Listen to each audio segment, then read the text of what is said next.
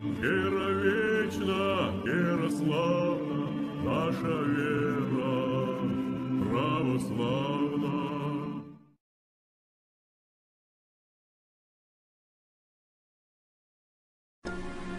Перед нами два снимка, между которыми сто лет времени.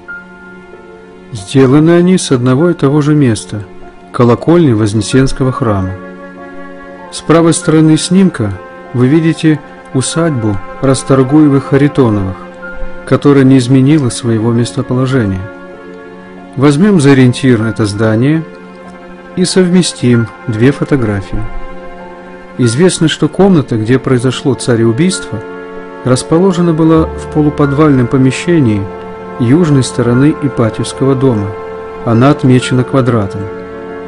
В результате мы видим, что эта комната находится или на проезжей части улицы, ранее Вознесенской, а теперь носящей имя основателя германской компартии Карла Липнихта, или у самой ее обочины, но никак не в храме, как утверждается на официальном сайте Московской Патриархии. Цитата.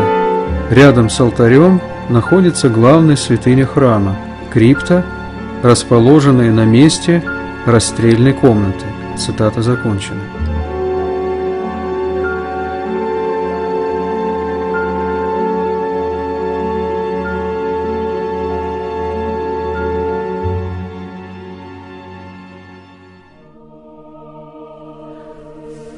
На самом деле, на месте действительного расположения этой комнаты цареубийства в начале 90-х годов братьей общины РПЦЗ в Екатеринбурге был поставлен поклонный крест, дважды разрушаемый наследниками цареубийц и в результате уменьшенный в размерах и перемещенный на более чем 20 метров за часовню преподобномученицы княгини Елизаветы – в связи с постройкой храма.